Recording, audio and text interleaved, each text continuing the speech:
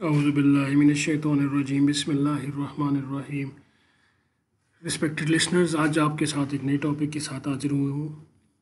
Topic शुरू करने से पहले एक अच्छी बात।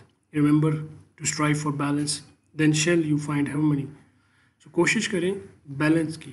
बैलेंस लाइफ गुजारें, पढ़ाई भी करें रिलैक्स भी करें। और फिर आपकी ज़िंदगी में हारमोनी आएगी। so, आज का टॉपिक है petechiae and bruises this is a very important topic not only from the exam point of view but also from the clinical point of view so the command will be this chart has multiple petechiae and bruises do the general physical examination and relevant so after introduction and consent do the hand sanitization and exposure ideally should be underwear then general look like you always knows if the child is sick or well cyanosis or respiratory distress etc. This pallor or jaundice. Uh, there's a nutrition status, diagnostic or dysmorphic features, then anthropometry, height, weight, FOC. If the child is less than 5 years old, then nails, clubbing, koilonychia, leukonychia, then the palms for palmar pallor and erythema, then the wrist for his pulse, respiratory rate, touch for the temperature. If the child look febrile, put the thermometer in axilla at this time. Then arms check for the axillary lymph nodes, cervical lymph nodes. Then eyes for pallor, jaundice. Then mouth for mucositis. Do all this while the child is sitting. Then make the child lay down and check for hepatosplenomegaly, inguinal lymph nodes. Do this while lying.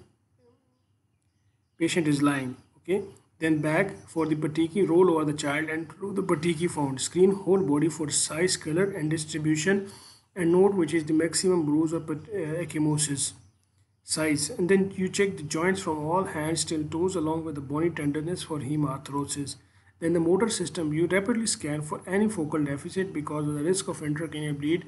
Or you ask the child if the child can walk you can check the gait which can randomly assess the muscles. So i have made a hypothetical uh, description of this patient. Assalamu alaikum sir or madam. I have just examined 7 years old simran who was conscious and cooperative during my examination she is well looking, adequately nourished child without cyanosis or respiratory distress. At rest, she is pale but no jaundice and there are no diagnostic and dysmorphic features. Her pulse is 83 per minute, respiratory rate is 20 per minute and she is afebrile to touch and with height of 130, 130 centimeter, weight of 25 kg which seems appropriate for her age but I would like to plot it on centile charts. There are multiple pinpoint petechiae and bruises on her body. The largest bruise measures about 3 into 3 cm and is bluish in color.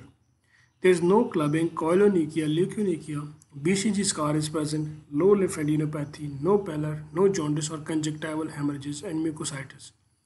There is no hepatosplenomegaly, no bone or joint tenderness and no focal neurological signs.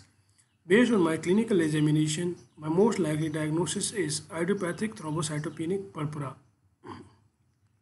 So the differential diagnosis, which is the top one, is idiopathic thrombocytopenic purpura, von Willebrand disease, aplastic anemia, pre-leukemic leukemia.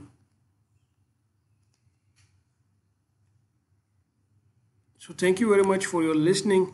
This was uh, just a short case for the petechian bruises and uh, I will look forward for your valuable feedbacks. Thank you much.